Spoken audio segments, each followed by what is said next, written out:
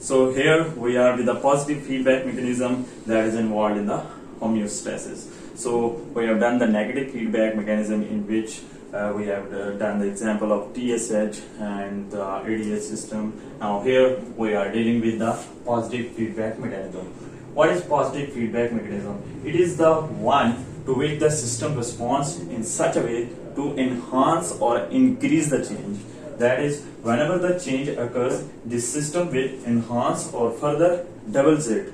So here we will give the example, we will take the example of the blood clotting and then we will take the example of the parturition and the milk ejection which are all due to the positive feedback mechanisms. So this mechanism is uh, less commonly involved but it is involved in the emergency situation and different conditions like this that is a blood clotting so, uh, what is blood clotting? Blood clotting is a process in which the stoppage of the blood uh, occurs and the bleeding stops. The, it involves three stages or three steps. That is the formation of prothrombin activator, then the conversion of the prothrombin into thrombin, and the, finally the fibrinogen into the fibrin. So the fibrin is formed. Once the fibrin formed, the clot will be uh, formed, and there will be the stoppage of the bleeding. So, first one, whenever the injury to the blood vessel occurs, there will be the bleeding, and this will uh, this bleeding will result in the formation of the prothrombin activator. This prothrombin activator then convert the prothrombin into the thrombin. Here, the positive feedback mechanism act. This thrombin will lead the further uh, activation of the prothrombin activator or formation of the prothrombin uh, activator and the conversion of the fibrinogen into fibrin. This thrombin, this product is actually uh, making this cycle again and again and here the positive feedback mechanism act and this will lead the stoppage of the bleeding.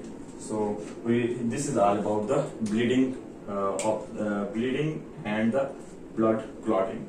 So the, how, this is how the positive feedback mechanism act. So here we are taking another example of the positive feedback mechanism which is the onset of labor or childbirth. So this process begins with the contraction of the uterus. This contraction of the uterus allows the movement of fetus into the cervix. So when there is a dilatation of the cervix or the stretching of the cervix, the signal will move to the hypothalamus and there will be the more contraction.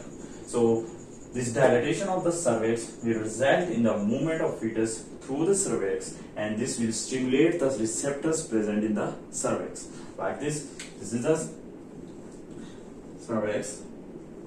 So whenever the baby's head will pushed out of this, so when this will be pushed out, the uh, the receptors present in this um, in the cervix will send the message to the hypothalamus and this will result in the further contraction of the uterus. So, so uh, receptors are stimulated and when these receptors are stimulated in the cervix, the discharge of impulse from the receptors occurs and this will result in the transmission of signal to the hypothalamus and from the hypothalamus the hormone which is released is oxytocin. Oxytocin is a powerful hormone in during the uh, labor process which is allowing the baby to move out. So this will uh, this uh, oxytocin will lead the further contraction of the uterus. This is where the positive feedback mechanism act and this will lead further and further contractions until the childbirth or the baby will come out.